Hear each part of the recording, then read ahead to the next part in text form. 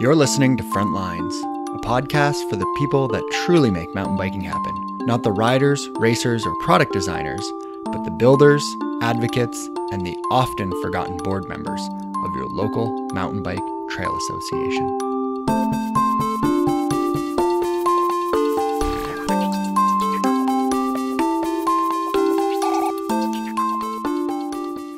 Last episode, I mentioned that we'd be covering the e bike topic this episode, and I was hoping to introduce that topic for our last episode of the year for our wrap up episode of 2017. Yamaha Motors has requested that I delay releasing my interview with Drew Engelman. It was a great episode, and I'm hopeful to release it in the new year. My background is not in journalism, and I certainly didn't start this podcast wanting to be a journalist. But in many respects, that's what hosting this podcast involves. That said, I strive to respect all of my guests' wishes, and I want everyone to be able to put their best foot forward. And so, with that in mind, this episode will be a bit different than what you are expecting, but I think you'll enjoy it nonetheless. I'm your host, Brent Hillier, and this is episode 30 of Frontlines.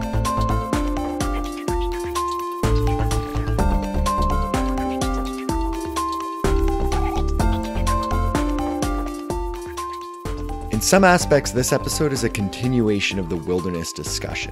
And I feel that after coming out of five episodes on the topic, the correlation of what's happening around US wilderness should be apparent.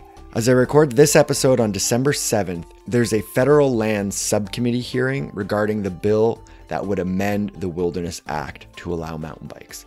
And Wednesday evening, prior to that, IMBA released a statement that I'm sure many of you received via email. If you haven't seen it, I've included a link in the show notes. Now, one of the reasons I was saving the interview you're about to hear is that I wanted you to hear it without relating it to wilderness necessarily. That's not because it's not fitting, but because what my guest is about to explain has so much relevance to so many land managers that your organization deals with. I wanted to make sure that it wasn't lost on just the wilderness designation. No matter what country you're in, you're likely to work with elected officials. And Bruce Alt is going to lay out his elected officials rulebook for us. You'll be familiar with Bruce already. He helped us better understand national monuments, which just this week have made a big splash in the media with Donald Trump shrinking the size of some national monuments. All of the trail associations out there that I've seen make a stand against this, I just want to say thank you and continue what you're doing. I support you. Prior to joining IMBA, right after the Boulder White Clouds Wilderness Bill became law in August 2015, Bruce Alt worked as a lobbyist and certified association executive in several roles in two states and the U.S. Congress, representing the forest products community in Mississippi, the Nature Conservancy in Mississippi, and the accounting profession in Arkansas. He also co founded the Central Arkansas Trail Alliance in 2014 a chapter of IMBA in central Arkansas, and served as the group's first president. Bruce wanted me to make clear that the purpose of this discussion is to offer a very brief and simplistic policy analysis and political view of the realities surrounding mountain biking and wilderness policy today. This is not an examination of arguments for or against mountain biking and wilderness, nor is it a critique of past advocacy efforts undertaken by mountain bikers or mountain bike organizations. Rather, it is offered as a guide to mountain biking advocates as we all seek to channel our very limited resources for greater future success in achieving and protecting access for mountain biking. Our conversation today will explore some harsh political realities for mountain bikers and the untold elements of the designation of three wilderness areas in central Idaho in August 2015, commonly known as the Boulder White Clouds. Hi, Bruce. Welcome back to the show. Good day, Brent. Thanks for inviting me. I'm delighted to be with you. Can you give us a, an overview of the political reality related to uh, wilderness and mountain biking?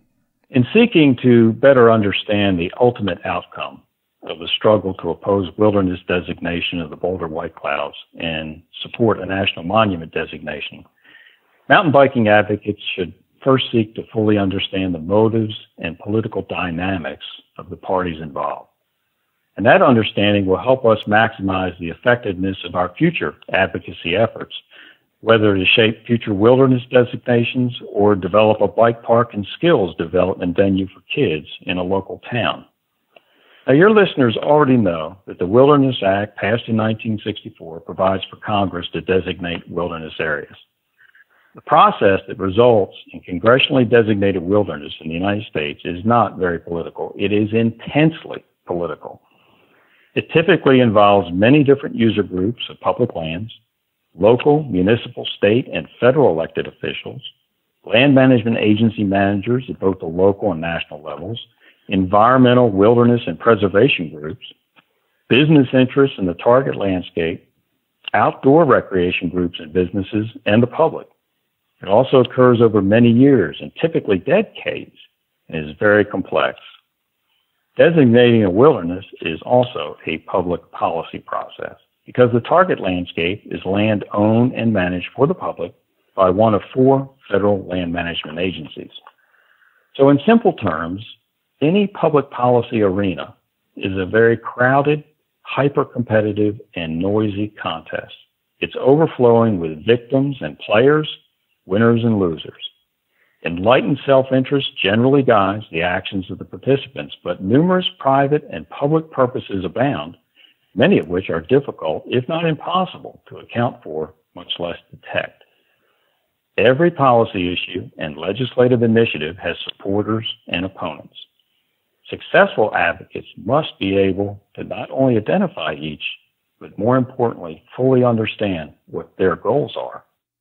And so, why should mountain bikers better understand what drives elected officials?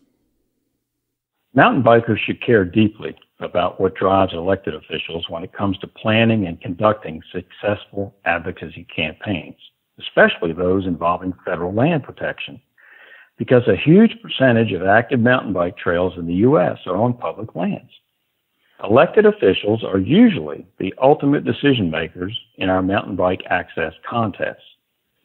So let's begin by taking an admittedly overly simplistic view of what drives and motivates elected officials at all levels, from local and municipal to state to federal. And so for the purpose of our discussion today, there are really only three simple rules in the elected officials rulebook. Now this rulebook differs from the playbook which ranges very widely from fundraising to constituent services to campaigning to enacting legislation. So here are the three rules in the elected officials rulebook. Rule number one, get reelected. All other rules and actions can be traced to supporting this number one goal. Rule number two, make as many friends as possible to help with number one. Rule number three is make as few enemies as possible so as not to complicate or threaten number one. So since Congress must pass any bill authorizing wilderness, it is imperative to understand that U.S. representatives have two-year terms and therefore have to stand for reelection every two years. In practical terms, they never stop campaigning and running for reelection. And even though U.S. senators have six-year terms, the same reality applies to them too. Fundraising for increasingly expensive reelection campaigns never stops either. What drives a wilderness group? What, what drives, you know, a conservation group like the Wilderness Society? What really drives them? The wilderness community has been forming, growing, and organizing since way before the Wilderness Act was passed. The Wilderness Society claims that since 1935, they have led the effort to protect 109 million acres of wilderness. In many ways, that gave wilderness advocates a huge head start over mountain biking, which didn't begin to organize until the late 1980s. The wilderness community numbers well over 150 local, state, and national organizations. For advocacy purposes, we should understand that it is really an industry, and a huge one at that. Just one major national organization in the U.S. focused on wilderness expansion in the U.S., the Pew Charitable Trust, has assets measured in the billions of dollars. That's billions with a B. The Sierra Club claims 3 million members and supporters and also claims to be the nation's largest and most influential grassroots environmental organization. The Wilderness Society currently claims more than 700,000 supporters. Collectively, that's a huge asset base to compete against. But what drives this gigantic fundraising membership and advocacy machine? We could answer simply that it is passion, but that would ignore the real source of all their energy. Wilderness in the U.S. is regarded by these passionate followers as a religion. Expanding wilderness takes on the aura and fervor of a holy crusade. I once asked a die-hard wilderness advocate who was a paid professional in Washington, D.C., how much wilderness would be enough? After over 60 years of advocacy, hundreds of billions of dollars spent, and nearly 210 million acres designated, how much would finally be enough? His reply was short and very poignant. He said, We'll let you know. In other words, the wilderness industry is absolutely dedicated to a holy quest that is insatiable. Wow. Give us some context then. Like what would what would you say drives the mountain bike community then? Well, the short answer has been more trails, more access, and continued access. Mountain bike advocates have a rule book too, just like elected officials. And in order to maximize our effectiveness, we need to understand and practice four simple guidelines. Number one, numbers matter. Really big numbers matter a lot, especially to elected officials. They are charged with making decisions that benefit the most people and harm the fewest. And that translates into votes for getting elected or reelected. Think of the difference to them between seeing a community bike park meeting at City Hall, packed to standing room only with parents and kids overflowing down the hall, versus only a few mountain bike club leaders in the seats. Or written comments submitted on a local access issue in the hundreds for a small town, thousands in a small city, and tens of thousands nationally. Guideline number two we need lots of friends and their active support to shape public policy. And that means hikers, walkers, runners, paddlers, rock climbers, other outdoor recreationists, and beyond. We have to think about and then act to build the biggest coalition possible that supports our goals. And that alone takes a lot of time and work. Guideline number three, we have to be present to win. Showing up early and being counted is critical. If we don't show up or show up late, we'll be ignored or severely discounted. And guideline number four, we must continuously cultivate champions. Successful lobbying efforts cultivate and grow elected officials who can lead the charge and wave the flag. We have to work hard to reward those who help us. This also applies to developing champions among our volunteer leaders as well. What can be learned by analyzing something like the Boulder White Clouds through the lens of that elected official's rulebook? Excellent question. To better understand why a national monument proposal failed, and instead the White Clouds Wilderness was successful, we have to analyze the outcome first in very cold political terms and be willing to be harshly realistic. To his credit, Representative Mike Simpson was absolutely persistent, reintroducing his wilderness bill in multiple sessions of Congress. He eventually formed a collaborative of multiple local interests to find a workable solution. Toward the end of that process, mountain biking interests got to the table only to be vastly outnumbered. The wilderness community had been working on this proposal for decades. Clearly, Representative Simpson wanted the wilderness designation for his state. That's called a political legacy. Senator James Risch is the junior United States Senator from Idaho. He previously served twice as the lieutenant governor and also the governor of that state. To say that he understands Idaho politics and the voters would be an understatement. Here's the proof. He ran for the U.S. Senate in 2008 for the open seat vacated by Larry Craig and won with 58% of the vote over his Democrat opponent who garnered 34%. That was a huge win beyond landslide proportions.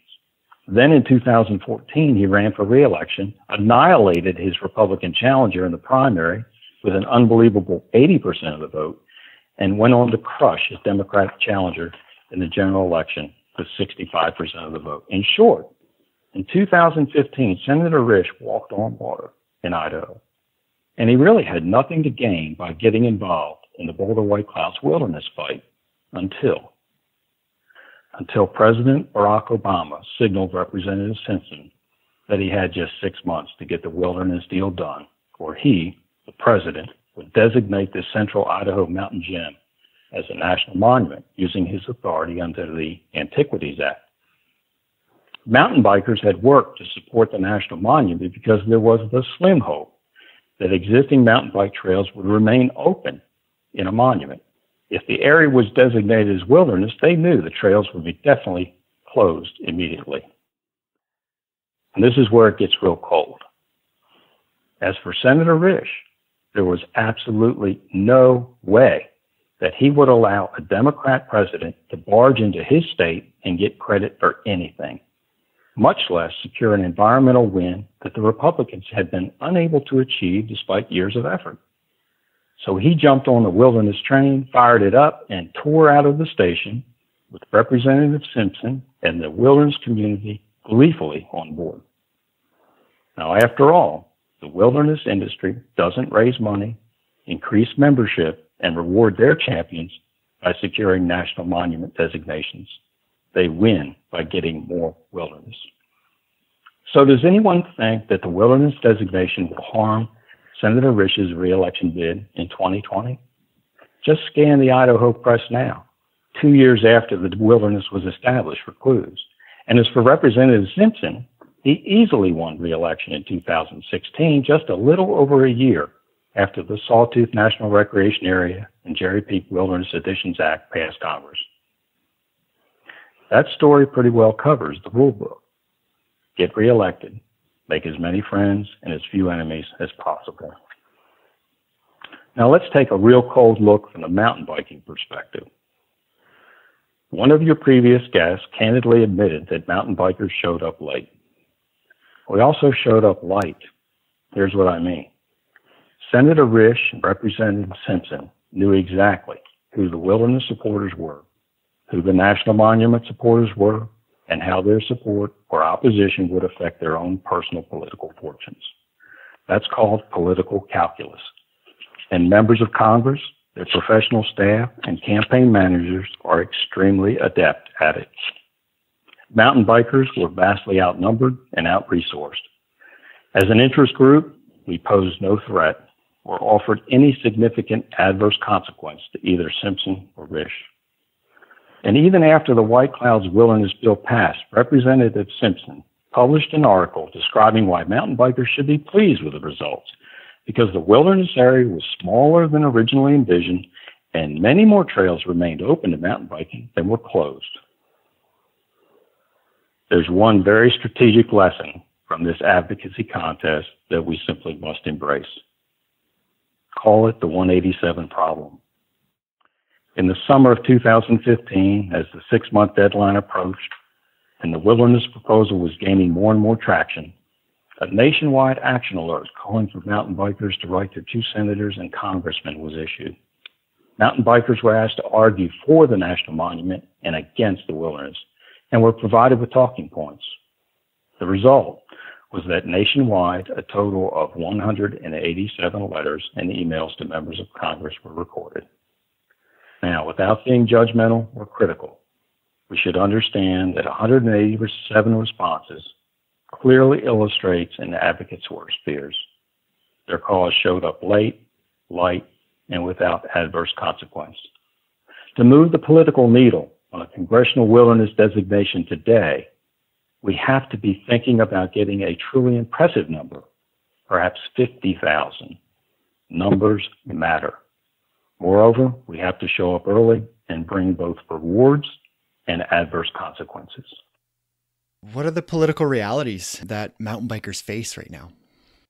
Elected officials are elected to make policy decisions that affect their constituents' well being. They view private citizens as voters, friends, supporters, donors, enemies, or opponents. Their worst fear is a well financed opponent who uses their own mistakes as campaign fodder. Never forget that the primary metric they use to gauge the risk or reward of a policy decision is the willingness and ability for people in each category to affect them and their prospects for reelection. So to be effective in a very crowded and competitive policy battle, any organization really needs three advantages. First, a motivated and informed grassroots army ready to engage. Second, professional advocacy support and direction. And third, the power to raise and spend money, typically through a battle campaign or a political action committee. Ranting on social media doesn't count for very much and only serves to divide and isolate. In contrast, pursuing litigation against an adverse decision by a federal agency or organizing a PAC and actively raising money to fund an opposition candidate draws a very high level of attention. Encouragingly, there are wins for mountain biking access occurring in many places today. But at the end of the day, elected officials look at any lobbyist like me or their clients and says, What you do speaks so loudly, I can't hear what you say. Well, Bruce, uh, thanks so much for for taking the time to, to chat with me, and and uh, I really appreciate you breaking this stuff down into into really solid points. I think that's uh, that's going to be really helpful for people. Well, I hope it's very helpful for all of our mountain biking advocates nationwide. We have a bright future, but it's going to take a lot of work. Thanks. Thanks, Bruce.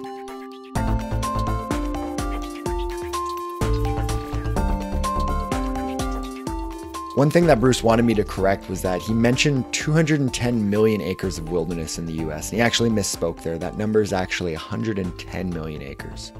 Now, in the context of wilderness, my conversation with Bruce gives me a little bit less hope and a far more understanding as to why changing the Wilderness Act is a long shot, to say the least. And despite the last five episodes and points I've personally made, I still don't know what my opinion is. And as a rider, I'm kind of shocked to say this, but I'm grateful that most of the time, land managers here in Canada have the final say on which trails can and cannot be ridden on by a mountain bike. It's certainly not perfect, but in some situations, it can be easier to keep those decisions outside of a political machine, especially one like Washington, D.C. After my conversation with Bruce, I can't help but view my elected officials and how they relate to mountain biking differently. And it really drives the point home. Numbers matter. And when it comes to getting people on bikes, more should always be the answer. Shortly after I recorded this interview with Bruce, I had a conversation with Cooper Quinn of the North Shore Mountain Bike Association. And I don't think he'd mind me mentioning this. We started to take the rulebook template and apply it to other groups and individuals. For example, mountain bike media, the cycling industry, and land manager employees. I think it's a great way to kind of get some insight on how people that you're dealing with are functioning and what's going through their mind. And as Steve Sheldon, a former guest of the show, has pointed out to me on a couple of times, we need to learn how to speak their language. And I think that these rule books can help with that. It's something I'm continuing to ponder over, and if you have input, I'd love to hear it. As always, you can find the show on Facebook, Instagram, and Twitter. You can also find the show on YouTube and SoundCloud. You can send me an email or audio file to frontlinesmtb at gmail.com. With the e bike episode being pushed back into the new year, you now have more time to get your comments and thoughts in, so please take advantage of that. I want to thank all those who donated to the show on Giving Tuesday last week. Your contributions are why this show can continue, and because of those donations, you can look forward to some updates to the podcast very soon. If you'd like to support the show, you can do so via PayPal. You'll find a link in the show notes, as well as links to the Central Arkansas Trail Alliance and IMBA's very recent press release. A reminder that you can also support the show by going to the book club page on the website.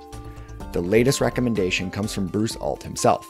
The book is The End of Membership as We Know It by Sarah L. Sladek.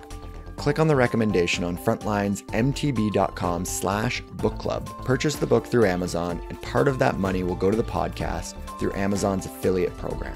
What's great is after you've been linked to Amazon from the Frontlines website, anything else you purchase during that session, even if you don't purchase the book, Amazon will still provide the show with some of that amount. So do your holiday shopping and support the podcast. You can't go wrong with that. Next episode, we'll be closing out the year with our very first panel discussion of past guests. I'll be joined by Christine Reed of the North Shore Mountain Bike Association, Brennan Pack of the Ozark Off Road Cyclists, and Jay Darby of the Mountain Bikers of the Central Okanagan. As always, music is by Lee Rosevere, production notes by Jennifer Pride. And finally, I'm Brent Hillier. This is Frontlines. Thanks for listening, and happy trails.